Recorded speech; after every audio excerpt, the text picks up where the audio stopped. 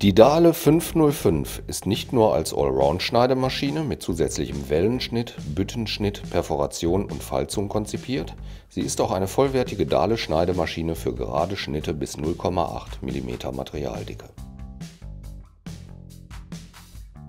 Zu den typischen Dahle-Qualitätsmerkmalen gehört vor allem das Prinzip, den geraden Schnitt immer mit einem rotierenden Rundmesser am Untermesser auszuführen um Präzision und lange Standzeit der Messer zu gewährleisten. Für die millimetergenaue Platzierung des geraden Schnitts gibt es das äußere Lineal.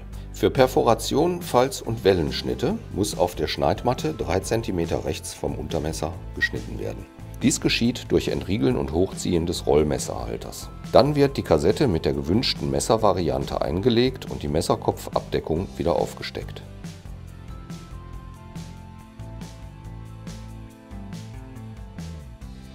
Auch hier wird an einem Lineal mit Millimetereinteilung angelegt, dazu dient das innere Lineal.